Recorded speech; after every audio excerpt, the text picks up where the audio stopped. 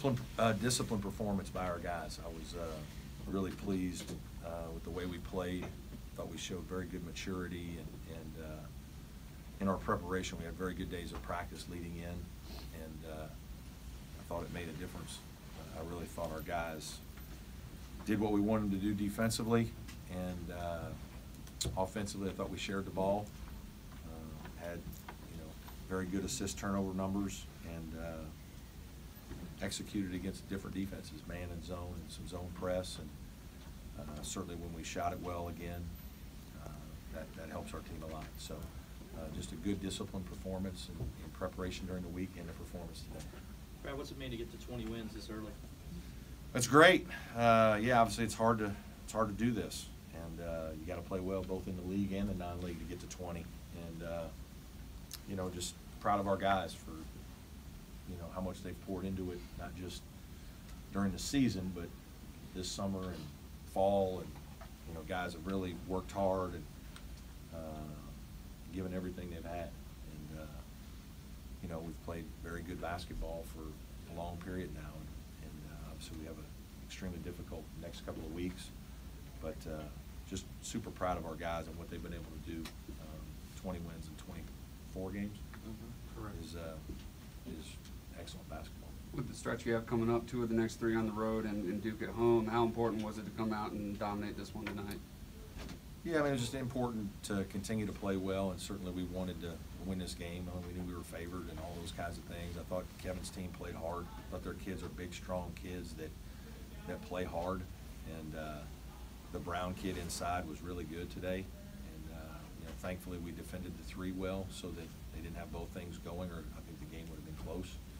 Um, But yeah, I mean, this is one of those games that, you know, you'd like to play well and get a nice win, and then, you know, we, we have a couple days off here now, uh, leading into Florida State. We have to, have to take a couple days off, so we're gonna meet tomorrow, and then we'll be off Saturday, Sunday. Brad, typically nine and three in the ACC, you're in the mix for the regular season title, but Virginia's still three games ahead of you. Is that bothersome at all, or are you just so happy to be where you're at right now that, you know, that You know, enter your mind? I haven't really studied all that, that closely. I mean, obviously know that Virginia is undefeated and playing extremely well, and, um, but yeah, I don't know that, you know, we're just trying to play as well as we can play and keep our head down and find out who's next. And, uh, uh, I think our guys have done a really good job of that. You know, we don't, it's not like we have this great margin for error that we can, you know, we still have to play really well to win games. And fortunately for us, we have. Um, But, you know, we can't be looking and worrying about a lot of other things, I think, and take our eye off the preparation that goes into trying to play well. You kind of mixed and matched a little bit in the first half with the lineups. How much of that was to kind of prepare you for the stretch drive, see what works, and what did you see that worked? Well, Marcquise Reed uh, has the flu. It's uh, ironic. I was asked about it uh, on the radio show, I think Monday, and uh, he was fine. And he was fine. Uh, I don't know what day it is. Tuesday, and then all of a sudden Wednesday morning, first thing in the morning, I get a text from my uh, uh, trainer that Marcquise has got a fever of about 103, and uh, we'll see what happens. And obviously, he was down for the count that whole day, and thankfully the fever went away uh, that day. They got on got on it right away and pumped him full of some fluids. And uh, the next morning, you know, he woke up and he felt felt fine, which was today, um, or better. But uh, and so we were gonna. I asked him, "Do you want to do it?" And he said, "Yeah." Uh, so we just, you know, played him at times. He asked to come out, which that might be the first time he's done that this year. Uh, but, you know, he obviously wasn't full strength, so Clyde knew going in that we didn't know if he was gonna play or not, so Clyde would have probably started if Marcquise didn't.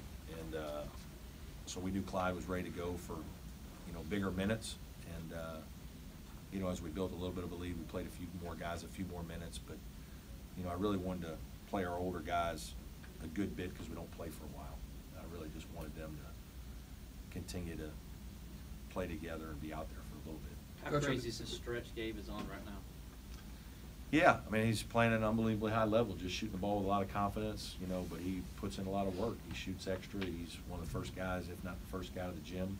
Been that way all through fall shooting when we come in, you know, three or four mornings a week as a team and shoot. And, you know, you just, you're happy for guys on your team and in your program that, develop, and this is what you want for them in their, the end of their careers, is to be playing their best basketball and, and to be enjoying it. He certainly is doing both. Coach, I think it was Scar's second start of the season, best game of the, of the year for him.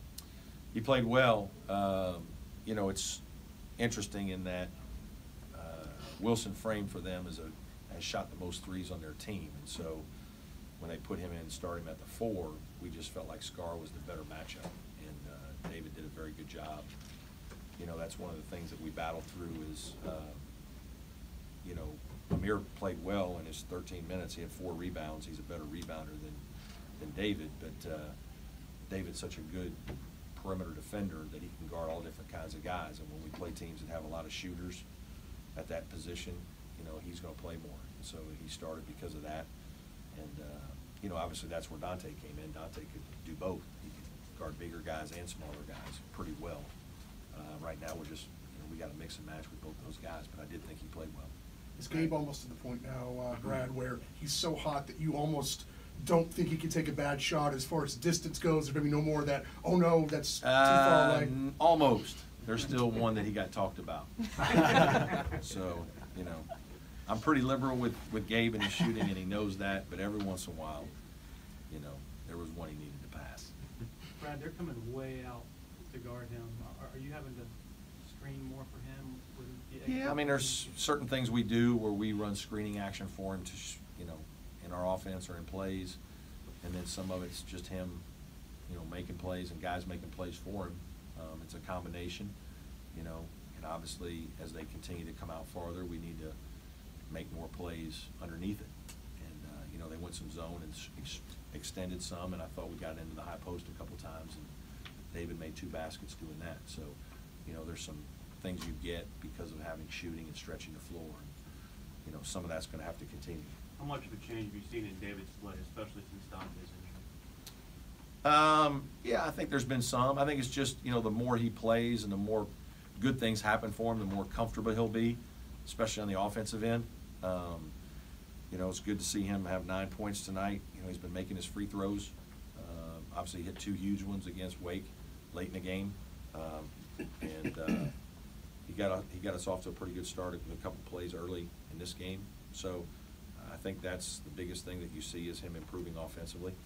Do you think people underestimate uh, Eli's ability to pass the ball? Seems to be doing a really good job of it lately. Yeah, I don't know. Uh, I think there's just so many things that you gotta worry about in a game that there's gonna be some situations where he's gonna have that opportunity. I think Eli's done a good job defensively. You know, I thought again, this was another game where Eli guarded some ball screens well.